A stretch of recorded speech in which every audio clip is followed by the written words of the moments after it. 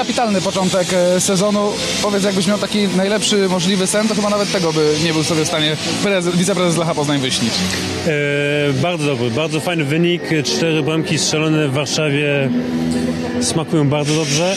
Bardzo fajnie, że strzeliliśmy dwie bramki ze stałego fragmentu gry. Jak pamiętamy ostatni sezon, to nie potrafiliśmy nie wiem, ani jednej chyba strzelić. Jedną mieliśmy strzeloną ze stałego fragmentu gry, więc cieszą te bramki ze stałych fragmentów. Widać, że tutaj jest postęp w tym fragmencie i mam nadzieję, że pójdziemy za ciosem, a nie, że nie zakończy się to tak samo jak w zeszłym e, sezonie. No właśnie, nauczeni teraz e, na poprzednim e, sezonie, nie możemy, nie możemy powiedzieć tego momentu, nie możemy się zachłysnąć przede wszystkim tym zwycięstwem. Zachwycąc na pewno nie, ale ten sezon będzie tak, tak zupełnie inny, bo jesteśmy zupełnie w innym rytmie meczowym. Mamy mecz co, co praktycznie co weekend, tylko w Ekstraklasie niestety.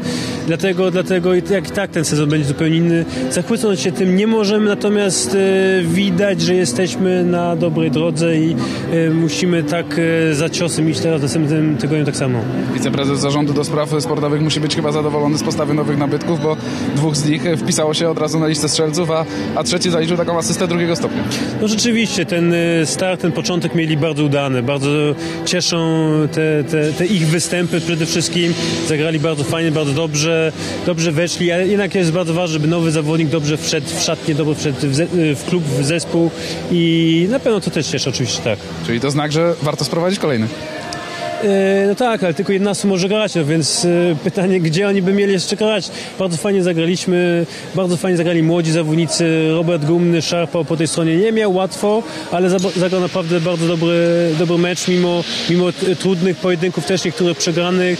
Fajne wejście przecież Kamila Jóźwiaka. No, w tych młodych nasza nadzieja.